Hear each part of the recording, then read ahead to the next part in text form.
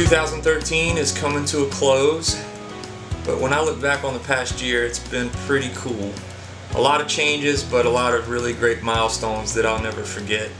Uh, getting to play the Grand Ole Opry, getting to play in front of a huge crowd at CMA Fest this summer, a ton of shows that surpassed my expectations, having Ain't Going Out Tonight play on SiriusXM The Highway, and then ending the year with the uh, Moving On Up tour thanks to Ones to Watch and Texas Pete.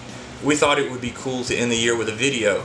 So we're going to put some stuff together around the song If I Could Do It Again, and we would love for you guys uh, to be a part of it. Uh, we're asking that you send us a clip of something cool that you did over the course of 2013. Maybe you went skydiving or went to a cool concert or uh, went to a, a, cool sporting event. Wh whatever it is, if you have a clip saved on your phone or something, we'd love for you to send it in to us via Instagram or Twitter using the hashtag that's on the screen and we may be able to include it in our compilation to end the year. Again, thank you all so much uh, for all the support you've given me, not just this year, but uh, all, all, the years previous. Uh, I, I, feel very blessed and I'm looking forward to 2014.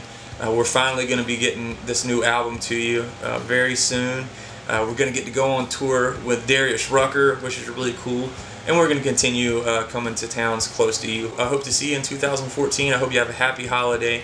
God bless you and your families.